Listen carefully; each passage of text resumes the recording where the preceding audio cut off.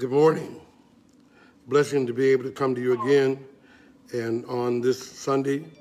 And those of you who are out there, uh, Facebook Live, and, and some are on Zoom with us, and some on conference call. Those out there on Zoom and conference call, if you can mute your phones or your so your voices can't be heard, it would be a blessing to everybody.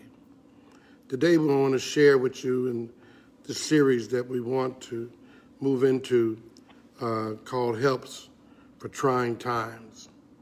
And uh, we were grateful for Greater Hope Baptist Church here in the city of Buffalo. And I thank the Lord for the near 40 years that I've been in, 41 years, I've been in full-time ministry.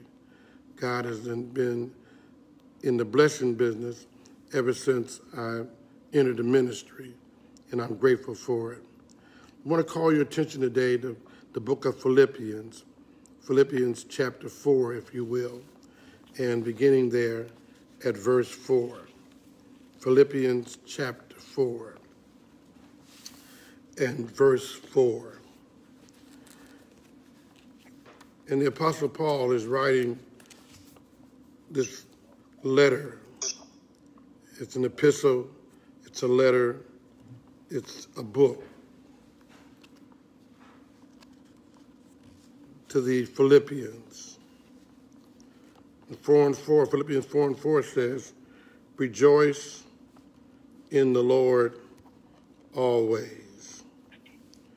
And again, I say, rejoice.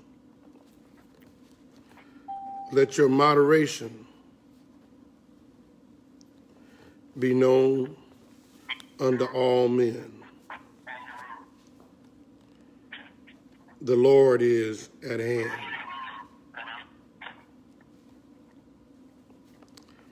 Verse 6 Be careful for nothing.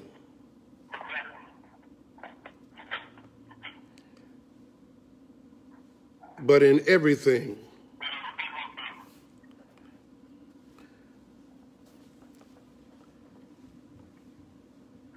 by prayer and supplication with thanksgiving. Let your requests be made known unto God. Verse 7 says, And the peace of God, which passeth all understanding, shall keep your hearts and minds through Christ Jesus. Through Christ Jesus. Helps for trying times. And uh, might say, what do you have when you have Jesus? The Apostle Paul writes this letter to be able to comfort the Philippians the Philippians, the church at Philippi was dear to Paul. It was the church that started out of his vision that he received. The Bible said that in Acts chapter 16 that Paul wanted to preach the word in Asia, but was forbidden by the Holy Spirit. And then he wanted to go into Bithynia, but the Spirit suffered him not. And so he hears a voice, the vision. A man in Macedonia said, Come over into Macedonia and help us. And, and Luke writes that they went. They went over into Macedonia. There they found some women down by the river in prayer. And the Lord moved upon Lydia and opened her heart, and she opened her house to Paul and his traveling team. Lydia was a rich woman, a seller of purple, and she welcomed Paul into her house. She said, If you count me worthy, and Paul went there. And then Paul and Silas and others as they moved about, and there was a woman, a young, a young maiden, who was uh, uh, used by Satan. And then Paul rebuked the spirit out of her. And those who, who, who, had, who had owned her, they had lost a lot of money because of that. And Paul and Silas was put in jail. But at midnight, the Philippian jailer, when he woke up from the earthquake, he was going to take his life. Paul said, Do thyself no harm, for we are all here. And, I, and Paul, he said, What must I do to be saved? Paul said, Believe on the Lord and Savior Jesus Christ, and thou shalt be saved, and thy house also. Believe on Jesus. That's the doorway into being able to have help for trying times, is to believe in Jesus, put your faith in Jesus Christ. Romans 4, Romans 5 says that while we were yet sinners, Christ died for us. Romans 10 says, Whosoever shall call upon the name of the Lord shall be saved. Salvation is available for you today. It's available. All you have to do is just call on the name of Jesus. They said, How shall they call upon him in whom they have not believed? How can they believe in him in whom they have not heard? And how can they hear without a preacher? And how can he preach except he be sent? Somebody has to spread the word. The word has been spread near and far. That one Friday on a hill called Calvary, Jesus died for the sins of the whole world. And because he died, he rose with all power that Sunday morning in his hand. And then he told some men to go and spread the good word. Told women, go tell my disciples to meet me in Galilee. And the church was underway. I want you to know that the church is still operating today. Upon this rock, Jesus said, I will build my church, and the gates of hell should not prevail against it. And that's what turned my life around, those words that Jesus was building his church, and the gates of hell should not prevail against it. That's what made the change into my life and make a change in your life. I made a commitment to the church. And then the next verse said, I give the keys, the kingdom, to the pastor. And I made up my mind on that night. My pastor didn't know it, but I made a commitment to my pastor. I became a yes man. He didn't know it. He didn't know it. But I found out that if you bless the man of God, God will bless you. And so now, Paul writes to this church. There's a lot of struggles going on, struggles within the church and struggles without. And we find ourselves there today. We find ourselves with struggles within and struggles without. We're in a trying time right now, a troubling time. We, we, we, right now, we, we are confronted with some things that we haven't been confronted with in this form in our, our entire lifetime. Oh, we we've had we've had pandemics before, but not at not at this level. We've had protests before, but not at this level. Things are going on all around us. And if you're not careful, you'll end up being disturbed and troubled and tried during these trying times. And I just want to share with you some helps helps for trying times. And today, today, I want to share with you from the book of Philippians, chapter 4, verses 4 through 7. And I want you to realize what you have when you have Jesus. Paul, Paul wrote to the church at Rome.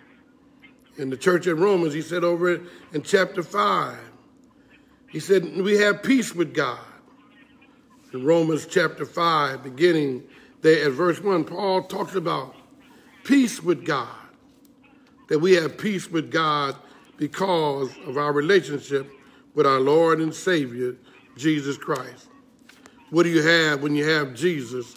You got peace with God. You got peace with God. That means you and God are on talking terms. Therefore, being justified by faith, we have peace with God through our Lord Jesus Christ. Romans 5 and 1, we have peace with God. You need to be thankful today that you got peace with God.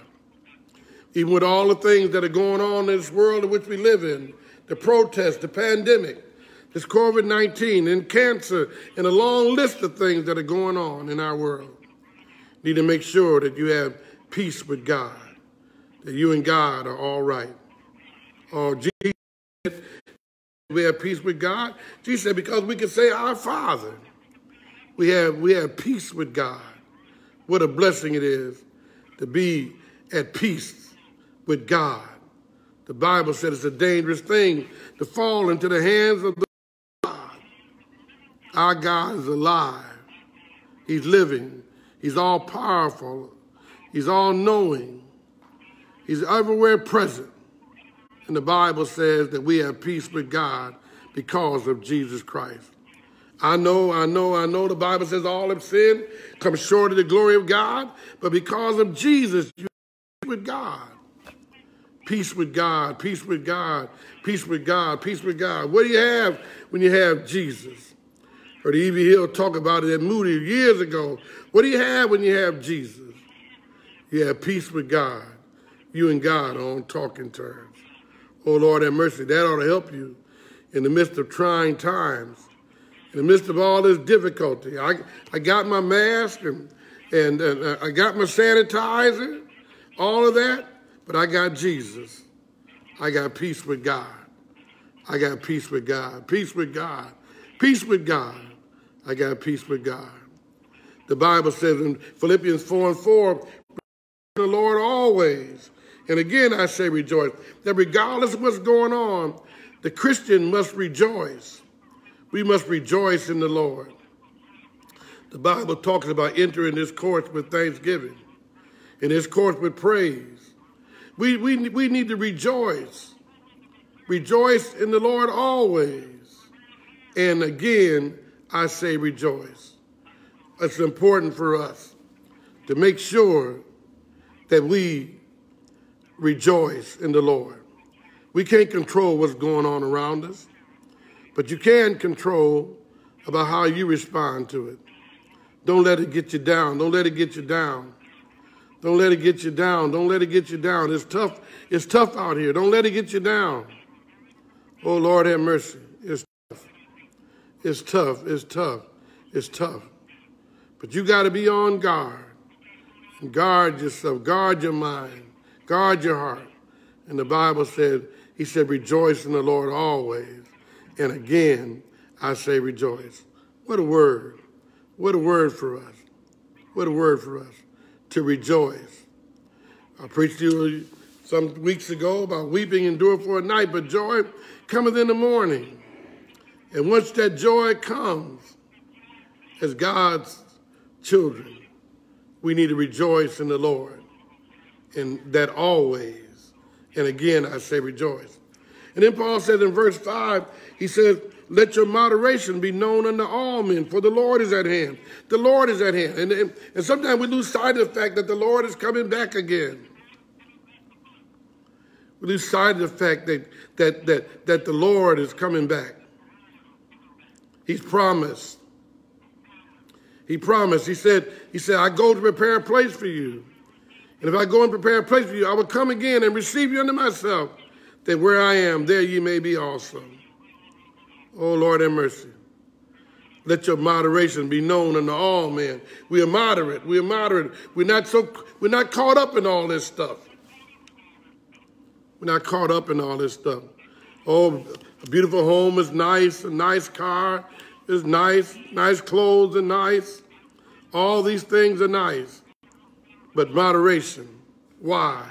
For the Lord is at hand. At any moment, the Lord can show up. The table is set. The Jews are back in their native land. The prophecies are falling in order.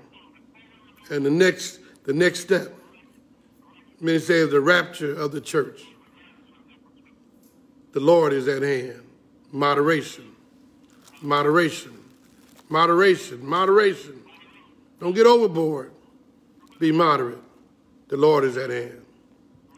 And then he says, be careful for nothing. And that's where we want to be park at. Be careful for nothing. Don't worry about anything. Don't let don't don't don't become anxious. Don't let anxiety get the best of you. Talk about people having anxiety attacks. They think about this this this this virus. Yes, this virus is real. Yes, it's real. Yes, it's real. Yes, it's real. But we but we have help from the Lord. If God said, if, he, if God be for you, he's more than the world against you.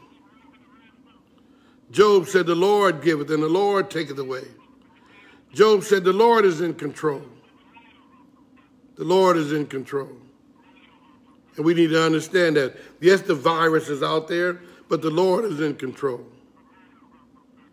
The Bible says that he won't put no more on us than we're able to bear. And I'll be preaching on some of those themes as we go forward with helps for trying times.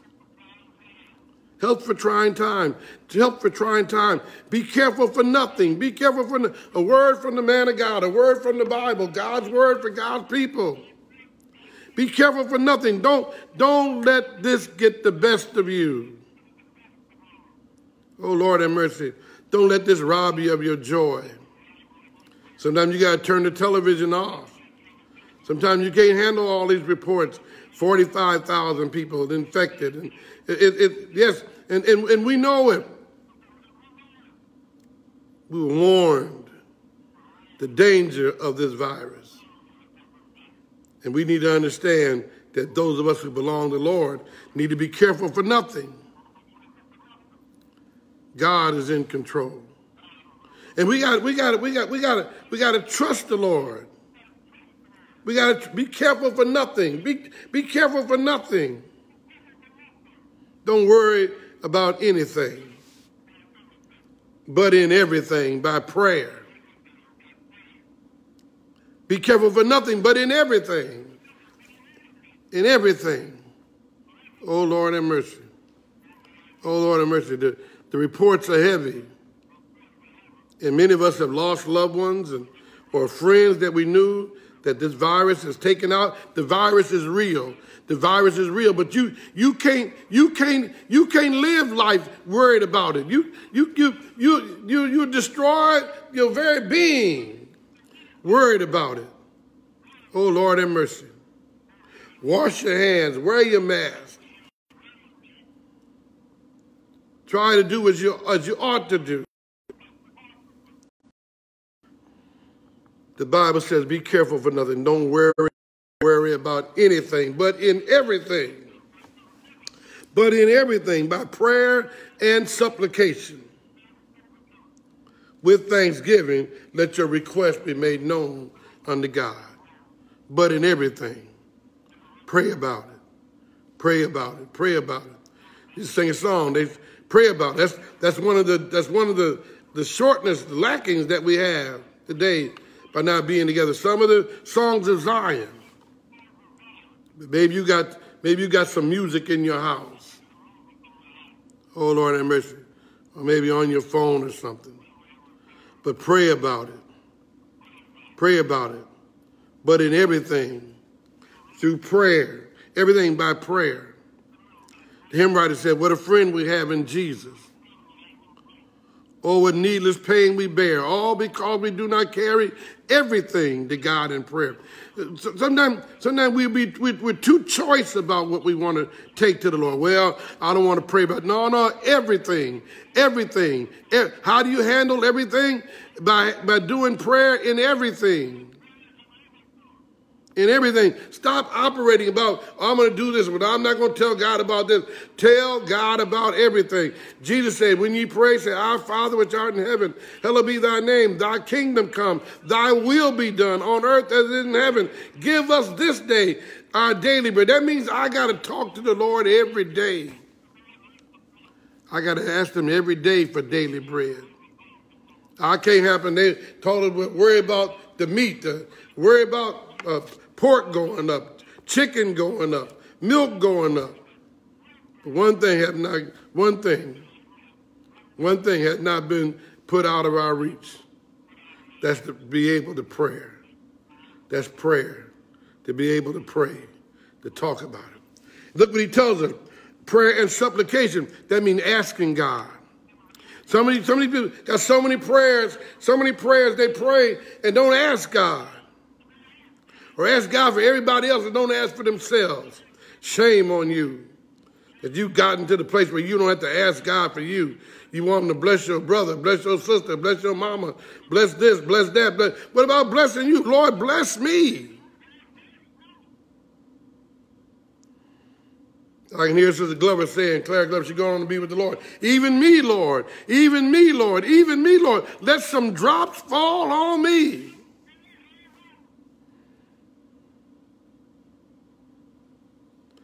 I can hear Brother Willa Parrott. I hear Sister Parrott sing. I can hear it, even me. I hear it say, He whispers sweet peace. Even me. Sister Daisy knowledge there's a brighter day ahead. Oh, Lord have mercy. God is in the blessing business. Supplication means to ask God. Ain't nothing wrong with asking God. I ask Him every day. I ask Him every day. What do I ask Him? I ask that His kingdom would come. I ask that His will would be done. I ask that He would give me daily bread. I ask that He would forgive me. I ask that he would lead me not into testing, but ask that he would deliver me from evil. Ask God with supplication, with supplication.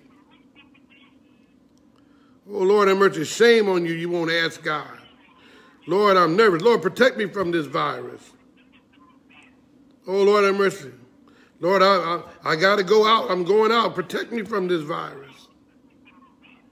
Let your request be made known unto God. And don't be silly. God done, done told you, they done told you. He, he, he told man to subdue the earth. He told man to subdue the earth. And man said, listen, this is what you do. You put this mask on. Keep your germ from going out. And I got to keep other people's germ from coming on me. Oh, Lord have mercy. But I'm not going to leave, leave, out talking to God. I'm talking to God. I, I, I, I got the faith. No, faith operates when you're in, in the midst of difficulty. Come on, I ain't gonna wear no mask. That, that might not be faith. That might be just foolishness. Thou shalt not tempt the Lord thy God. Say to Jesus, cast yourself down. Jesus said, Jesus said, No, thou shalt not tempt the Lord thy God. I know what he said. I know, I know that he said he will take care of me, and I believe that he will. But I'm not, I'm not going, I'm not doing it. I'm not doing it. Oh Lord have mercy. God is in the blessing business. With thanksgiving. Listen, you got to thank God for what's going on right now. You got to learn to thank God for what He's doing right now. Thank you for, I feel pain to say, thank you for waking me up this morning. Thank you for starting me on my way. Thank you that my, my sheep wasn't my winding sheet. And my, my, my, my, my bed wasn't my cooling board. And that the blood still run warm in my veins. The activity in my lips. I just want to thank you. Thank you, Lord. Thank you, Lord. Thank you, Lord. Sometimes the church will just ring out with just thank you, Lord. Thank you, Lord. You'll feel better when you you feel better when you take a look at what God has done for you. The Bible says, the Bible says, be careful for nothing. But by prayer and supplication with thanksgiving, let your request be made known unto God. Tell God about it. Some of y'all are spending too much time arguing with people. You don't don't argue with your children. You don't, you don't argue with your husband and your wife. You don't you don't argue. You don't you, you don't do that. You don't do that. Let your request be made known. My wife won't act right. Tell God about it. My husband won't act right. Tell God about it. My children won't act right. Tell God about it. Let your request be made known unto God. God, you work it out. I'm gonna hold my peace. I'm gonna be still. I'm gonna turn the other cheek. I'm gonna go the extra mile. I'm gonna deal with this situation, God. I'm gonna put it in your hands. You work it out. He will. He's still a doctor in a sick room. He's still a lawyer in the courtroom. He's still a heart fixer and a mind regulator. And the Bible says that when you do it, he says in verse 8, and the peace of God, and the peace of God, and the peace of God. What do you have when you have Jesus? You have peace with God. And then you have the peace of God, which passeth, the Bible says, all understanding. So keep your hearts and your minds through Christ Jesus. God is in the blessing business. And I encourage you today to make up in your mind that you're going to do what thus said the Lord. You're going to let the Lord have his way in your life. Let him have his way. Let him work it out. You, you, ain't, you ain't got no control over none of this. Not at all.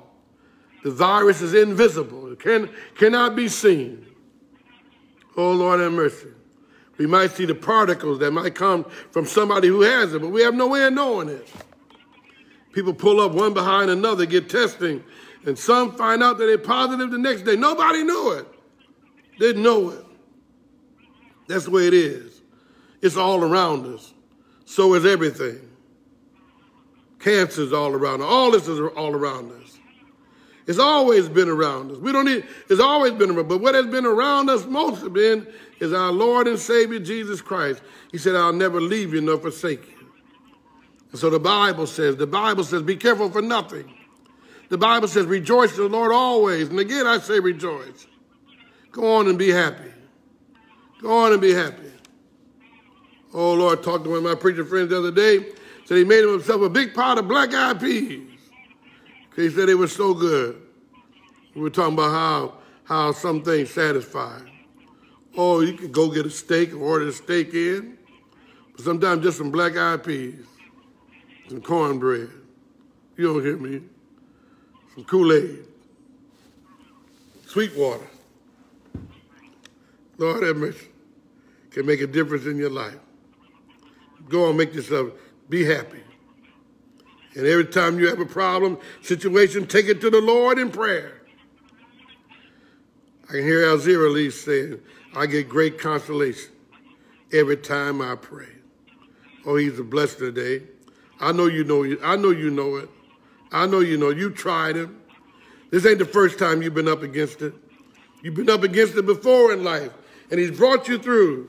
And the same one that gave you the victory before, he will give it to you again because he's still in the blessing business.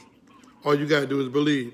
What must I believe? Believe that he lived. Believe that he died. Believe that early Sunday morning he got it with all power in his hand. Believe that he's coming back again. Believe that he got me in his control. And because I believe, I know I got peace with God. And because I got peace with God, I'm going to rejoice evermore. Because I got peace with God, I'm going to let my moderation be known unto all men. For the Lord might we stacking up stuff. Stop stacking up stuff. He's on his way back. Oh, Lord have mercy.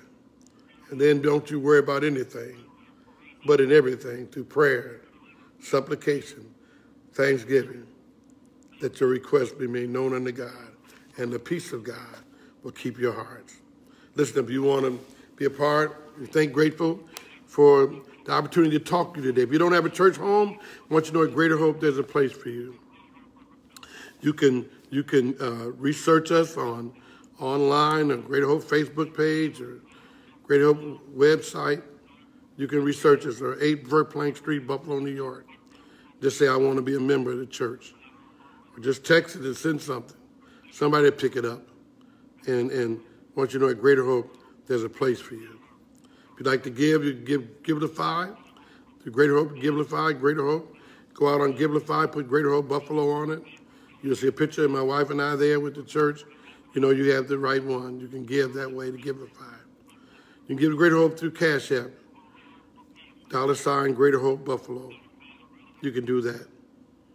If you want to be a blessing to me, you can do it any way you want to. Uh, my name J. Clyde seventy one. Cash App dollar sign J Clyde seventy one. U.S. mail you can send to the church. You can stop by. I've been here every day between hours 11 and 12. God is in the blessing business. What do you have when you have Jesus? You have the ability. You have help for trying times because you got peace with God. And then you got the peace of God, which passes all understanding. God bless you. God keep you.